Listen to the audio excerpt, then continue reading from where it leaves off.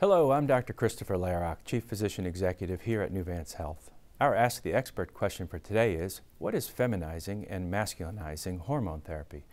On the set with us today is Dr. Meghna Shah, an endocrinologist at Nuvance Health Medical Practices in Wilton, Connecticut. Dr. Shah, welcome.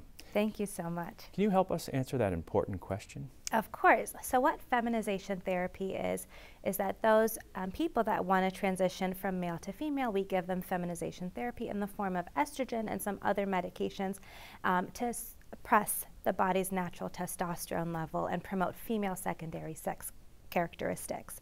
Conversely, in masculinization therapy, we give testosterone to suppress estrogen and promote male secondary sex characteristics.